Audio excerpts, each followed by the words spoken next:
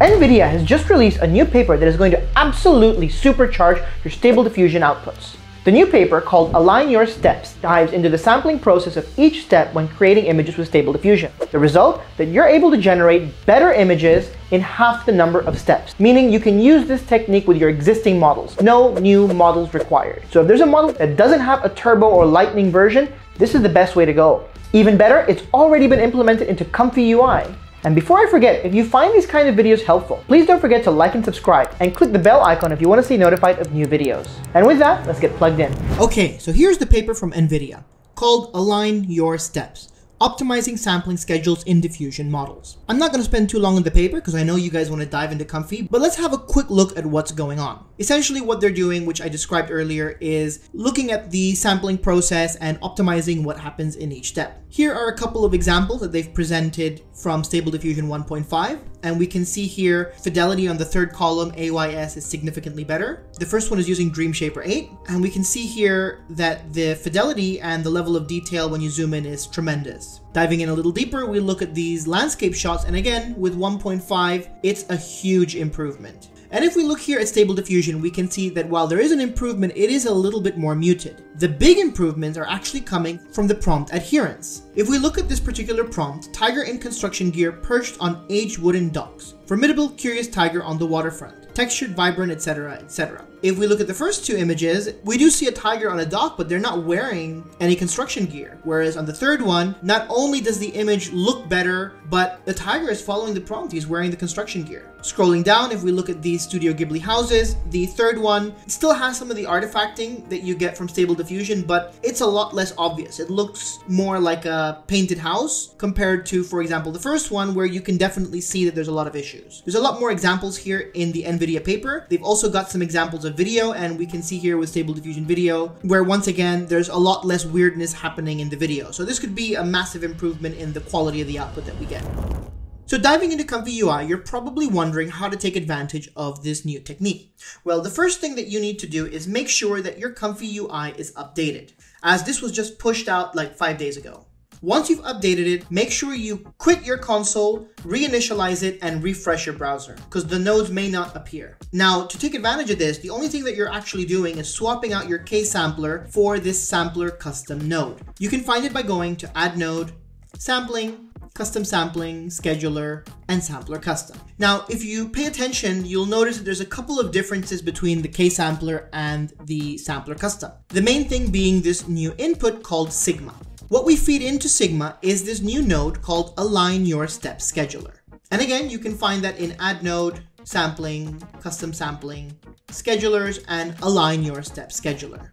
In here, you'll find two parameters, model type and steps. There's a model type for SD1, which you use with Stable Diffusion 1.5, SDXL with any SDXL model, and SVD with any Stable Diffusion video model. Once you've selected your model, you then set the number of steps. Now, the beauty of this is the SDXL model type can work with as few as 10 steps, half or less than what you would use with other sampling methods. You can go higher, but I do find that the returns are diminishing when you go higher than 10. In my experimentation, I've been quite happy with using 15. Now in this workflow, which is available on my website, I have both the sampler custom and the regular K-sampler set up so that you can compare the outputs of both images. I've wired them up so that they're both using the same seed, fixed, the same latent, and the same positive and negative prompt, so that we can keep the parameters as controlled as possible and get a realistic comparison of the two. So what do the outputs look like? Well, for the prompt beautiful woman standing on a spaceship, the image on the right is what the regular K-sampler outputted at 15 steps, and the image on the left is what Align Your Steps outputted. And I'm sure you can see that there is a tremendous difference in the level of quality. The one on the right looks unfinished and could probably go through another 10 to 15 steps of generation.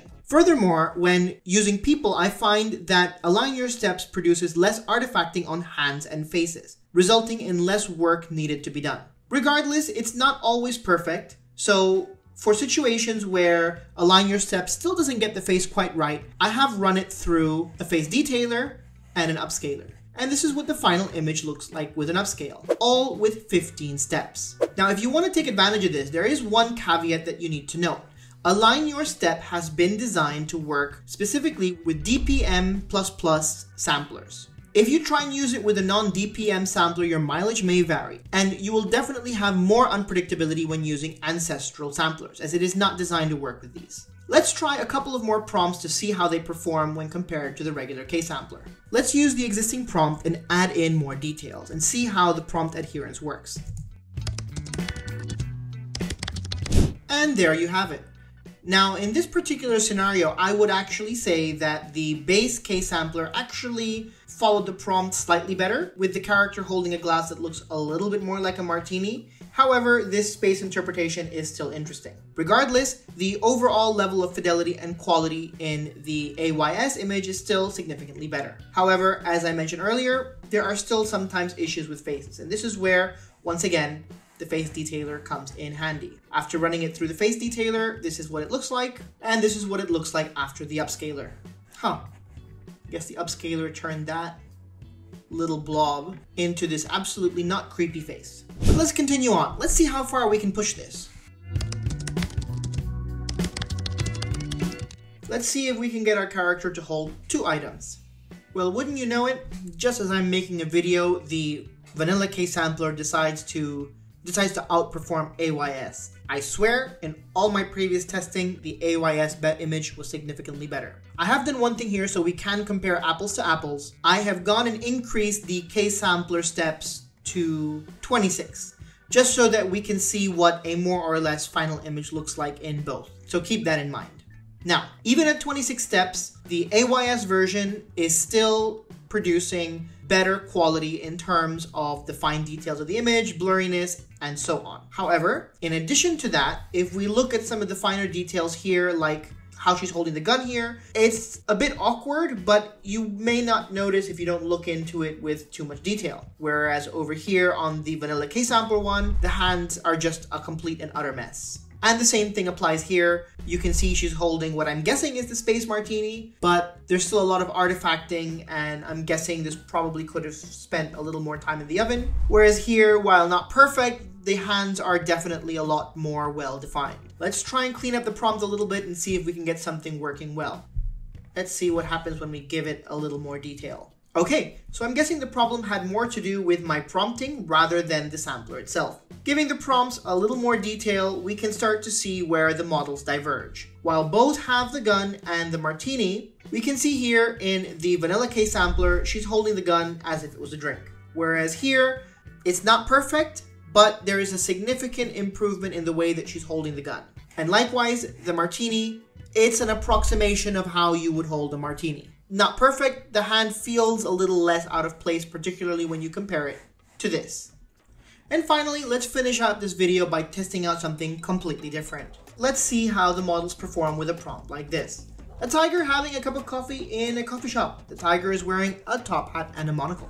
And here are the outputs. While very similar, and unfortunately neither of them is wearing a monocle, you will notice once again that the Sharpness and level of detail in the AYS version is quite a bit more than the vanilla K-sampler one. Particularly here in the eyes, we can see more detail. There's even a catch light, whereas here it feels a little more muted.